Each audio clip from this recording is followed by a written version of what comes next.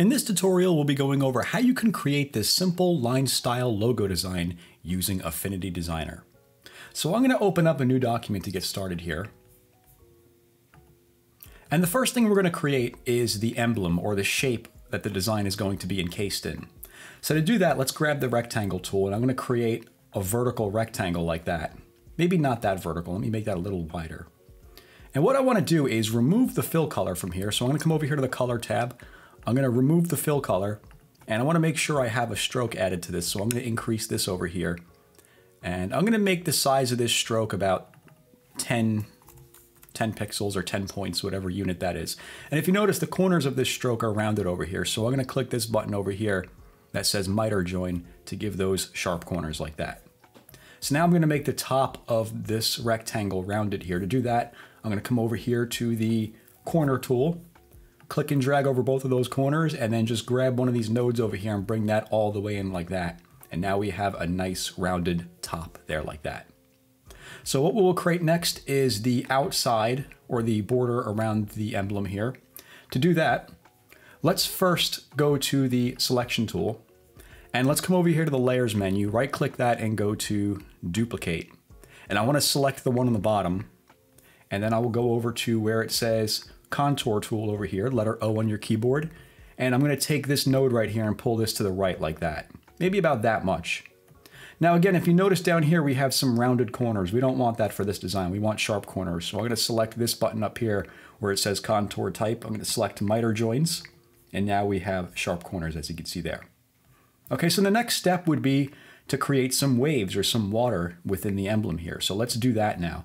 I'm gonna come over here Actually, I'm going to grab my selection tool. I want to take this and move this out of the way for now. I'm going to move this off to the side so I have some space to work with here. And I'm going to create a circle. I'm going to hold shift while clicking and dragging so we have a nice round circle. And I want to turn on snapping for what I'm going to do here. So turn on this uh, magnet icon up top here. And I want to make a duplicate of this. I'm going to hold Alt and click and drag. And I want to put this copy halfway through the second copy like that. And then I want to click and drag both of these and do the same thing. I'm going to hold Alt, click and drag both of them like that, and then stack these up right next to each other like that.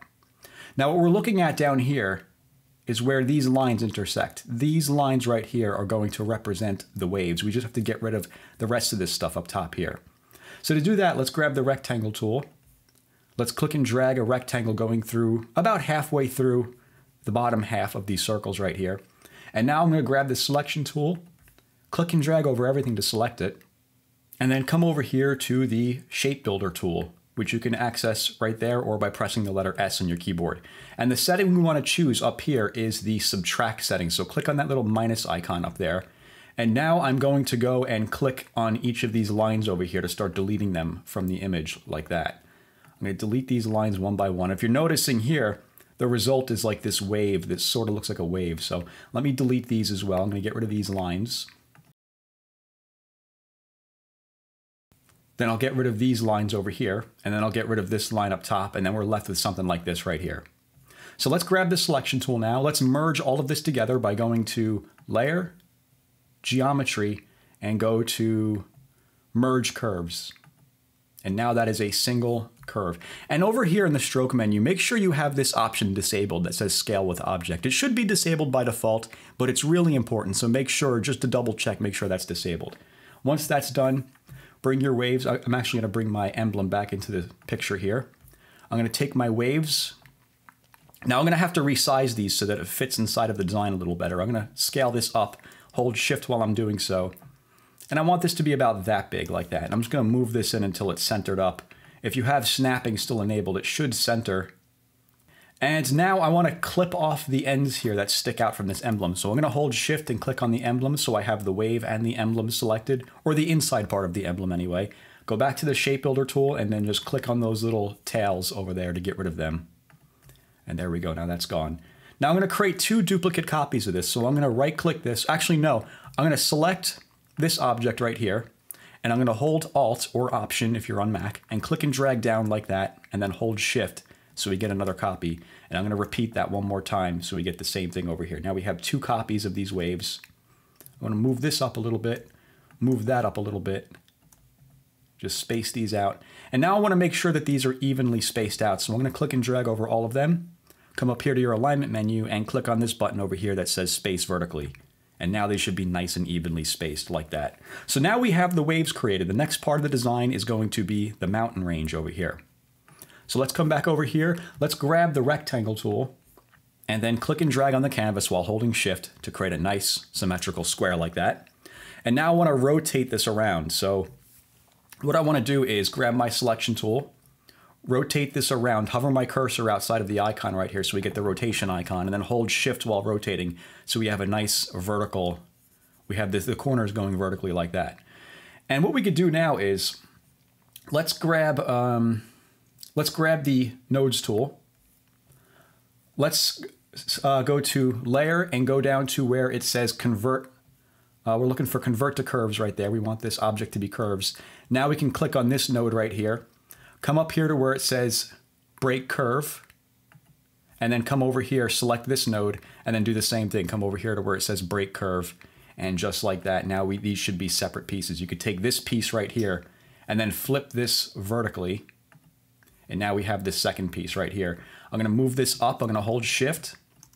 I'm gonna turn off snapping for now because that's just gonna get in the way. Let me come back over here to the nodes tool and I'm going to take this one and move this down a little bit like that. I'm holding shift while clicking and dragging this node down.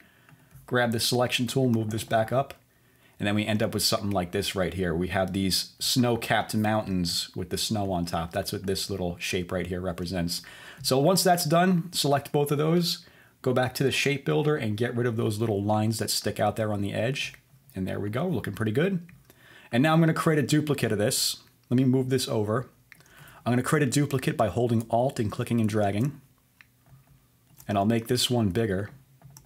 Hold Shift while scaling. And I will move this over like that.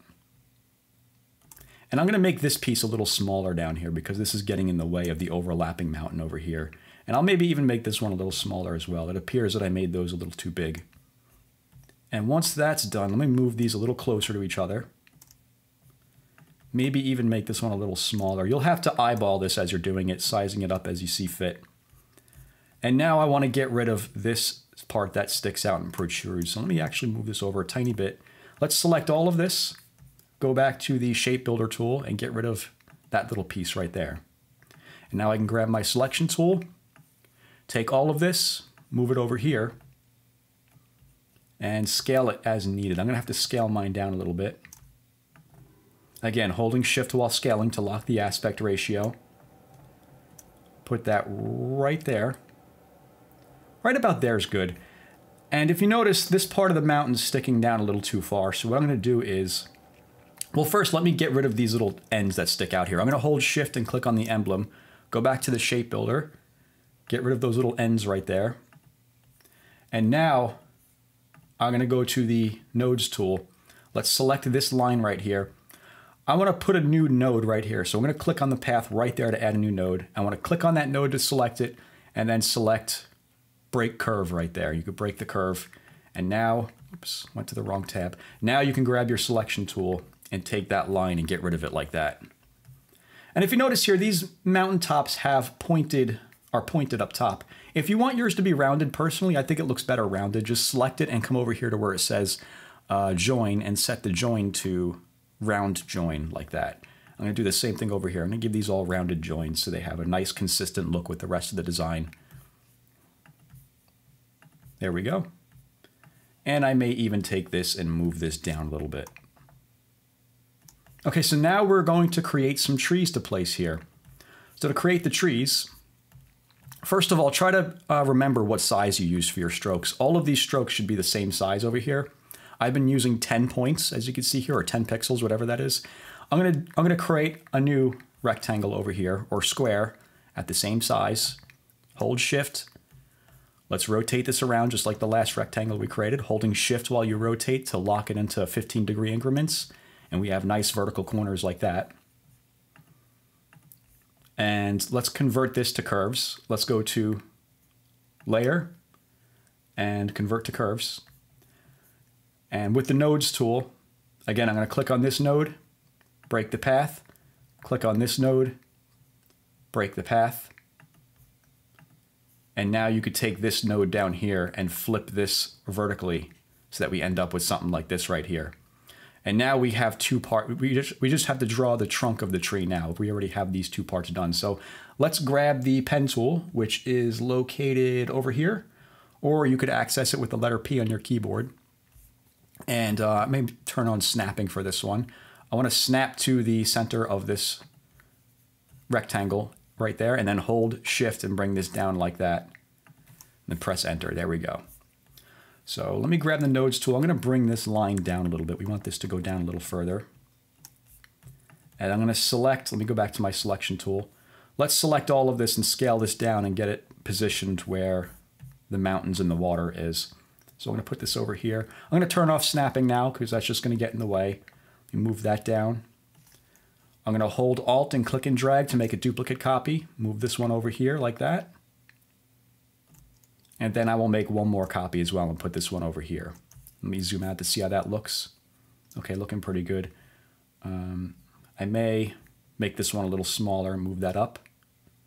There we go. I like how that one looks better. So I'm going to get rid of these ones over here and replace them with that resized tree. So let me take these, click and drag like that. Put this one down here. Or you know what, leave it right where it is. Click and drag like that while holding Alt. Put that one right there. And I may even make another copy of this one over here. So I'm going to hold Alt, click and drag. And again, if you're using Mac, then you're going to use the Option key instead of Alt.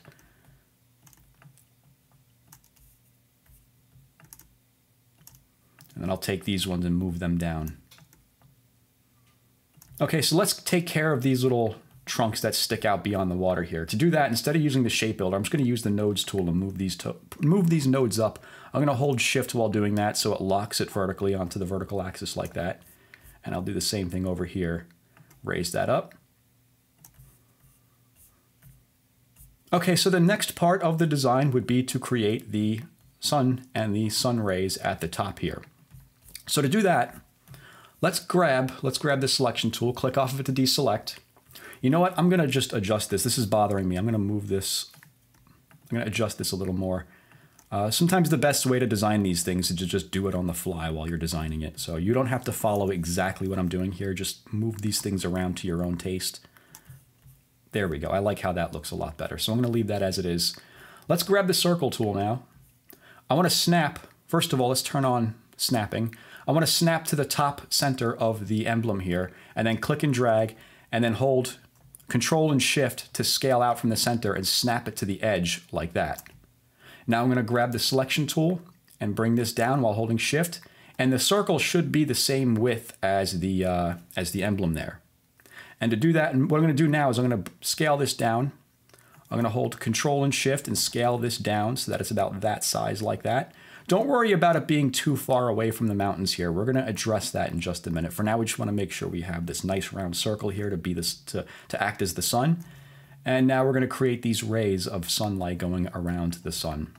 So to do that, let's grab our pen tool, snap to the middle up here, click once, hold shift, bring this down over here, click again, press enter, or actually press the escape key, and now you have one of the sun rays. So let's duplicate this. I'm going to hold alt Click and drag while holding shift, bring this one down here.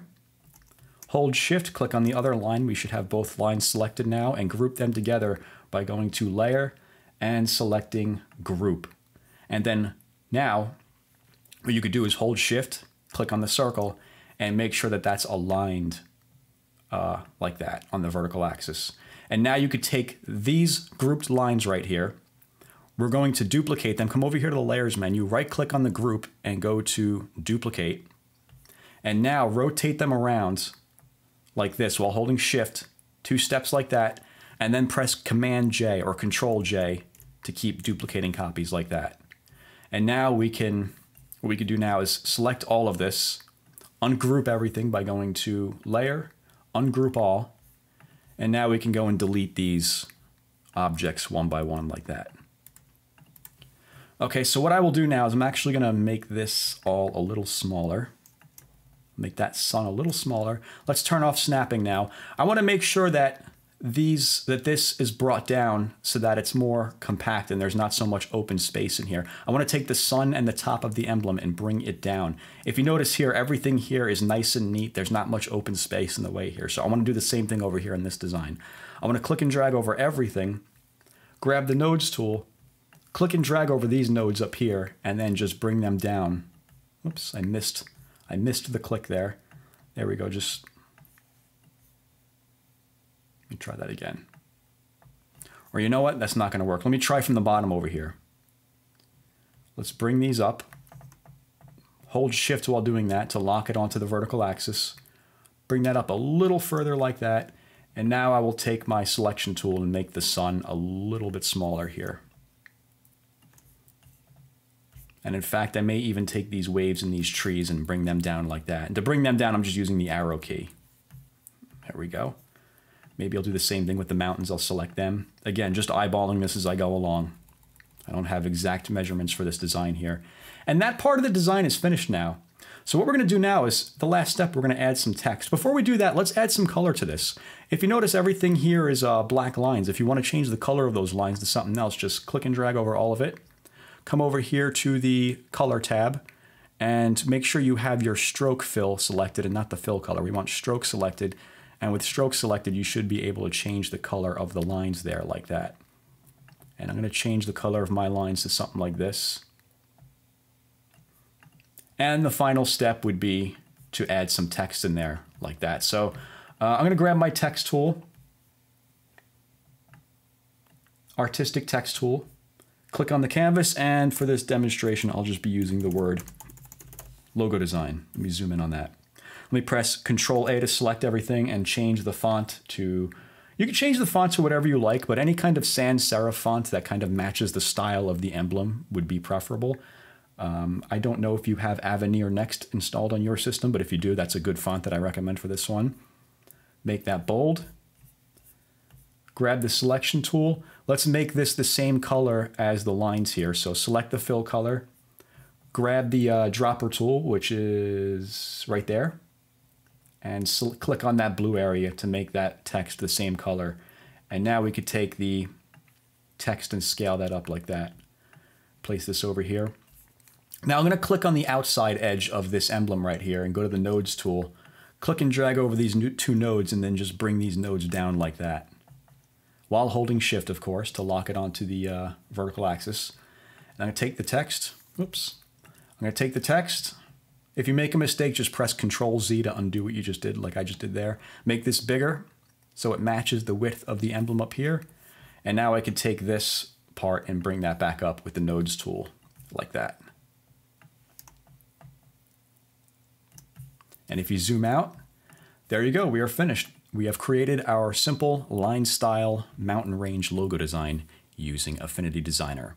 So if you have any questions, leave a comment below. And as always, thanks for watching. If you found this lesson useful, then consider checking out my Affinity Designer Masterclass. It's a collection of over 60 videos where I go over all of the tools and features in Affinity Designer, and I explain what they are and demonstrate how they work. Kind of like how I did in this video. We even have a private community where you can ask questions and get help from me anytime you want. And best of all, there's no monthly membership fees. You just pay $17 one time and you're in for life. I'll have some information about that down below if you want to check that out. As always, thanks for watching.